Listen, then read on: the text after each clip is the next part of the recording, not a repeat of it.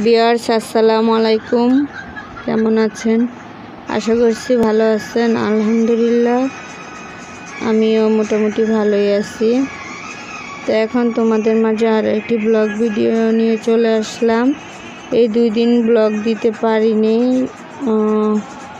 কারণ একটু ব্যস্ত ছিলাম সেজন্য। আর আজকে অনেক কাজ বাসায়। আজকে রান্না হবে ডাটা দিয়ে।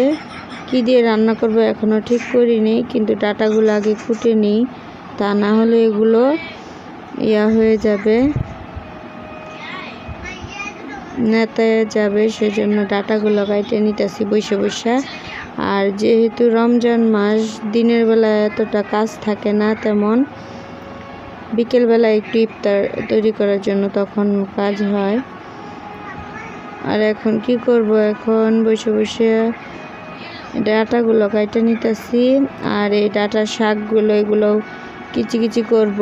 এগুলো ভাজি করলে ভালোই লাগে খেতে। অনেক আছে, এগুলো খায় না, ফালাই দেয়। কিন্তু আমার কাছে ভালো লাগে, কচিগুলো খেতে ভালো লাগে। কিন্তু যে অনেকগুলো আছে আবার একটু বুড়া বুড়া টাইপের পাতা ওইগুলো খাইতে ভালো লাগে না। ডাটা তো চিংড়ি মাছ দিয়ে রান্না করলে আমার কাছে খুবই পছন্দ চিংড়ি মাছ দিয়ে রান্না করলে। আর অনেকে দেখা যায় আবার কই মাছ দিয়েও রান্না করে। কই মাছ অনেক দিন হলো আনা হয় না আর খায়ও নাই। আর তোমরা থামবেল দেখে বুঝতে পারছ আজকে তোমাদেরকে আমি কি বানায় দেখাবো। তো ও পর্যন্ত ভিডিওটা দেখার জন্য অবশ্যই ধৈর্য সহকারে ভিডিওটা দেখো। আর যারা নতুন আছো, তারা অবশ্যই আমার চ্যানেলটি সাবস্ক্রাইব করে রাখো। আর পাশে থাকা বেল আইকনটি বাজিয়ে দাও। তোমাদের সাপোর্টেই আমি ইনশাল্লাহ ভালো একটা ফলাফল পাবো, ইউটিউব থেকে রেজাল্ট পাবো। আর সেটা তোমাদের সাথে আমি অবশ্যই শেয়ার করব যখন আমি এগুলো পাবো। আর আমার পাশে আমার ছেলের এই যে এগুলা কাটা শেষ, কাটে নিলাম ডাটা।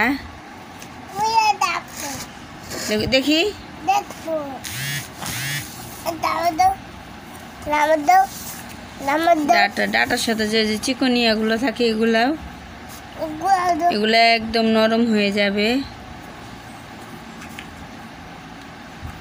চিকন ডাটাগুলো এই যে। আর এই যে এখানে ময়লা আর ডাটার যে শাকগুলো ছিল এই শাকগুলোকে কিচি কিচি করে কাটা নিলাম। এগুলা রসুন পেঁয়াজ দিয়ে মরিচ দিয়ে বাগার দিলে মজা লাগবে। এগুলা কচি যেহেতু সেজন্য নিচ্ছি.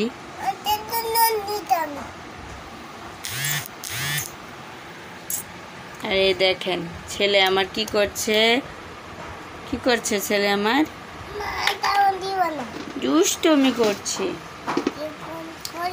কাটা শেষ যেহেতু রমজানের দিন তাই বসে বসে এগুলোই করছে। আর আজকে বাসায় পানি নাই। মেশিন নষ্ট হয়ে গেছে। ঠিক করতে নিবে পানি। পানির মেয়ে মোটর ঠিক করতে নিবে, পানি নেই। সে ঘুমতে নেই উঠাই তার দুষ্টামি শুরু হয়ে গেছে। এই যে ময়লাগুলো এখন পরিষ্কার করে নিব।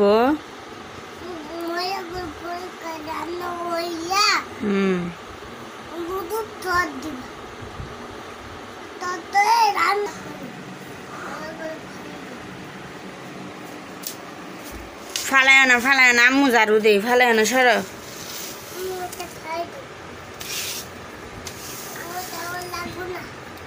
আব্বু, তুমি সর।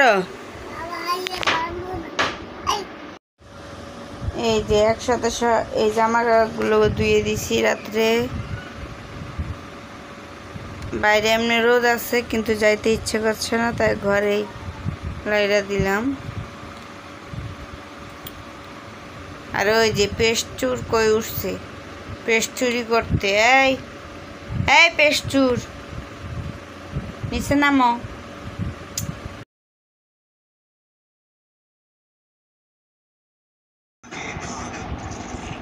এগুলো হলো পুদিনা পাতা। পুদিনা পাতা যেরকম দেখতে সুন্দর, সেরকম গ্রানও অনেক রয়েছে। ধনে পাতা থেকে পুদিনা পাতার গ্রানটা অনেক বেশি ফ্লেভারটা ভালো লাগে সবার। আর পুদিনা পাতা দিয়ে একটা ডেজার্ট তৈরি করে দেখাবো রমজান মাস থাকতেই।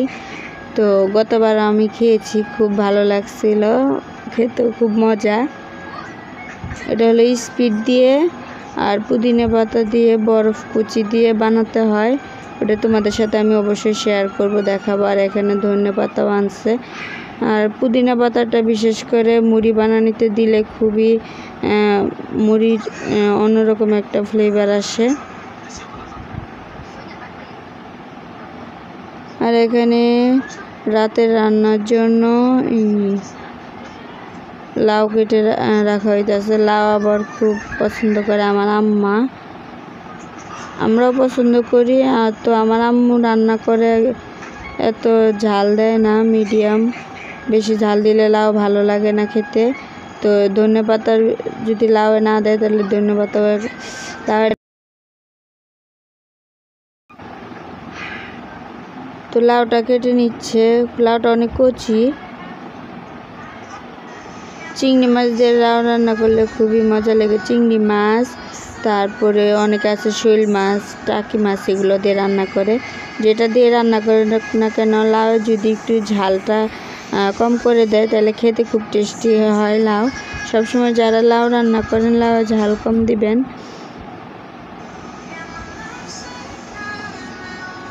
আর আজকে যে রেসিপিটা করে দেখাবো, সেটা হলো আমাদের প্রাইম মিনিস্টার প্রধানমন্ত্রী শেখ হাসিনার একটা রেসিপি মিষ্টি কুম বেগুনির বদলে যে মিষ্টি কুমড়ো দিয়ে বড়া বানায় সেটা। তো এখন আমি প্রথমে এখানে আদা, একটু রসুন আর একটু হলুদ আর একটু মরিচের গুঁড়ো, একটু লবণ আর এই যে বেসন দিয়ে দিচ্ছি। আর একটু হালকা কুসুম গরম পানি এখানে আছে।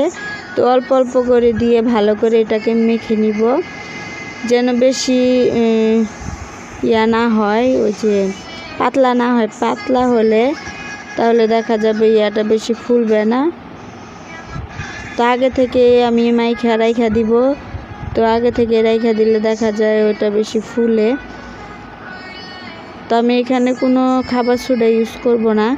তো এইভাবে যদি আপনারা সকাল সকাল অনেক ভালো করে এটাকে মিক্সিং করে রেখে দিতে হয়, তাহলে দেখা যায় বেগুনি, পেঁয়াজ, যখন বেগুনি, তারপরে হইল কি বলে আলুর চপ এগুলো যখন ভাজা হয় তখন ফুলে যায়। তো আমার এখানে করা শেষ। আর এই দেখো মিষ্টি কুমড়াগুলো আমি বেগুনের মতো চাকচাক করে নিচ্ছি।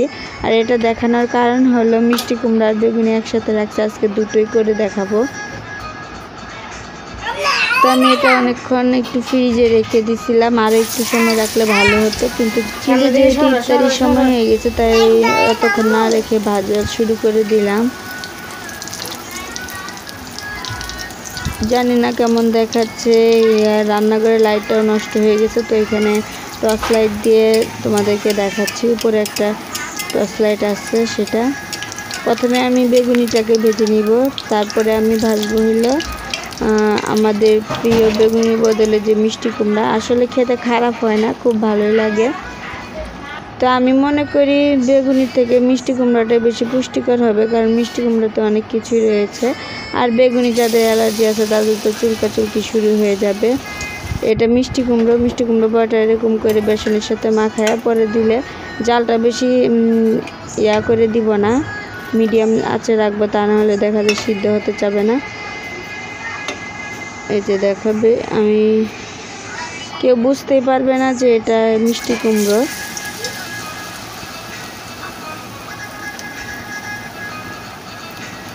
একে একে আমি ভেজে নিচ্ছি সবগুলো। কম করে বানালাম, দেখা যায় তা নাহলে রয়ে যাবে। আর তোমরা অবশ্যই যারা এখনও এইভাবে খাও নাই, অবশ্যই বাসায় বানাই খাবা। দেখবা খুবই বেগুনের থেকে এটা মনে হয় ভালো হবে। আর এখন তো চিন্তায় আছি যে, এতদিন তো বেগ- বেগুনের দাম বাড়ছে, এখন নাকি আবার মিষ্টি কুমড়োর দাম বেড়ে যায়। দেখো, কোনো তফাৎ নাই কিন্তু।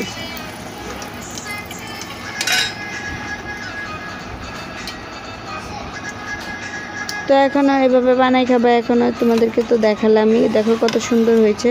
এখনও যারা আমার চ্যানেলটি সাবস্ক্রাইব করে নেয় অবশ্যই সাবস্ক্রাইব করে ফেলবে। দেখা হবে অন্য ভিডিওতে। আল্লাহ হাফেজ।